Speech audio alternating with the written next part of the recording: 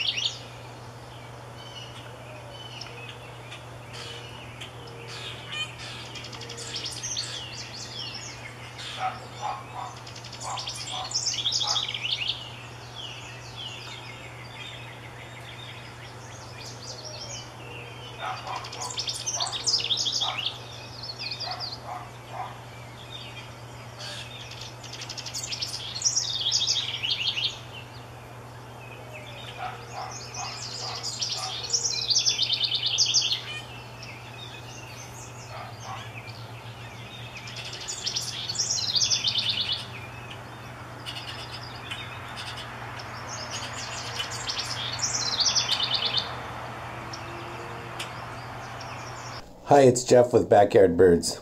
If you like this video and want to see more like it, you may want to subscribe to my channel. Just click the red subscribe button below the video. To be notified of new videos, be sure to click the bell widget next to the subscribe button. Thanks for watching and I'll see you next time on the Backyard Birds channel.